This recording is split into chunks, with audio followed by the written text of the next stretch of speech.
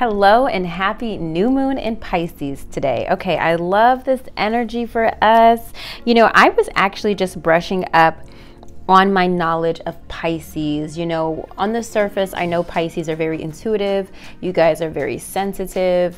Um, not always in a bad way because you wear your heart on your sleeve. And you guys are always reinventing yourself. You know, life isn't linear for Pisces, which I always think is so interesting. Like, you guys are just so interesting. Anyway, if you're a Pisces watching this. So I wanted to kind of tap into that with understanding of this new moon energy because this reading that we're about to get into is relevant for not only the next two weeks up until the next full moon, but also for the next six months because the new moon marks a new cycle up until the full moon in Pisces, which will be uh, August 30th. I just checked um, of this year. So for the next six months, this is the energy that we're working with. Okay, so let's get into it.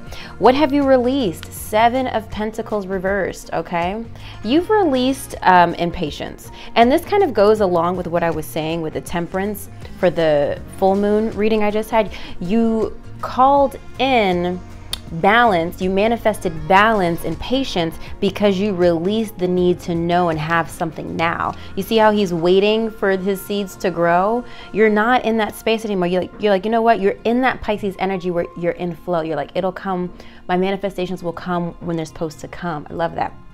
Where are you now?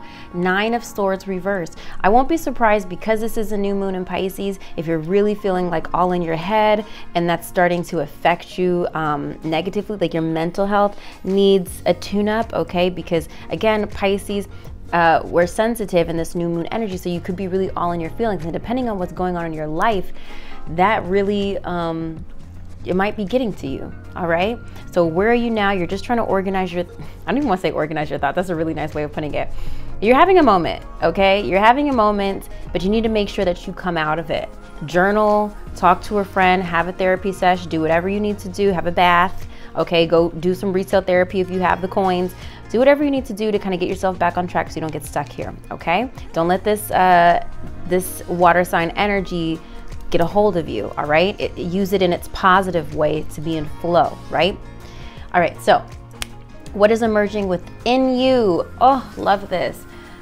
The Wheel of Fortune. This is good luck. You see the little dice around her neck. This is positivity. This is life is on your motherfucking side. If you felt like you've been having a negative cycle of you just feeling like the world is fucking against you.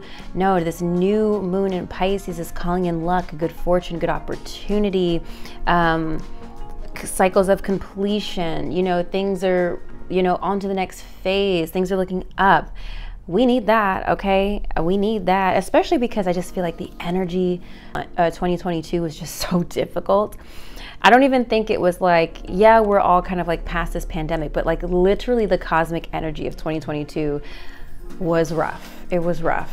And we we need some good news, right? Okay, so what do I wish to grow? Strength. This is Leo energy. Okay, we wish to grow our belief in ourself, our courage, our our uh, abilities, our charisma, our giving, you know? I feel like I, I just keep hearing believe in yourself. I feel like you just want to believe in yourself that you can do it. Like I feel like you're telling yourself, I can do it. I can do it. And you just you want to you want to grow that strength where it's locked. You want to have unwavering strength. That's what it feels like for me of what you wish to grow. Okay? And you can and you will. And that will be something you're working on your confidence in this this next 6 months and in these next 2 weeks as well. How can you bring your goals and intentions to fruition? Knight of Pentacles reversed. Okay, babe? So what that means is you're to need to stop focusing on, on shit that is not important.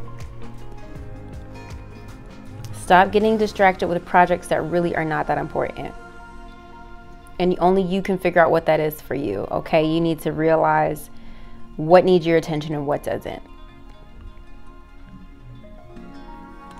I, and I feel like some of you guys are working on projects as a way of escapism, like focusing on this project because you're good at it is giving you a reason not to start another project that you know you need to do that spirit has told you to be working on what's a good example? So maybe maybe you this is so i'm to use this example.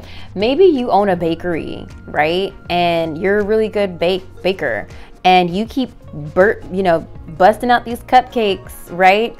But spirit has called you to tap into another gift of you know of fashion. You can be a baker and you know in fashion like a want to be a fashion designer and you keep putting it off because you're like, oh, well, uh, people want my cupcakes, they need them, I'm focused. But you already trained six employees to make these goddamn cupcakes.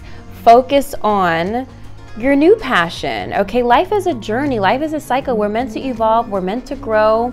You could still have your cupcake business and then try something new, especially in this day and age where no one is really locked in to their one talent, their one career. Like, people used to. It used to be like you got in a job as accountant, you're there for 40 fucking years till you retire. That's not the way our society is anymore. A lot of us are monetizing multiple gifts, multiple talents, and we're not limiting ourselves to just one trade. You know what I'm saying? So that doesn't have to be you. Stop focusing on shit that's already handled. Stop distracting yourself with projects that don't need more attention.